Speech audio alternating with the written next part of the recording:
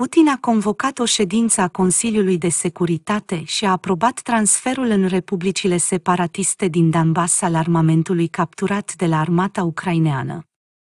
Președintele rus Vladimir Putin a convocat pentru vineri dimineață o ședință a Consiliului de Securitate, transmite agenția rusă Interfax.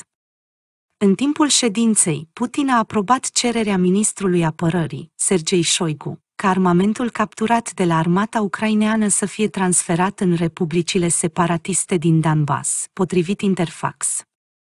Susțin transferul acestui armament, mai ales al celui provenit din Occident, în unitățile militare din Luhansk și Donetsk. Vă rog să o faceți, a spus Vladimir Putin.